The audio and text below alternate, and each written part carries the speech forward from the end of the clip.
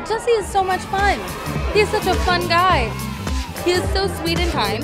Um, and it's really great to work with someone who, who cares as much about this as you do.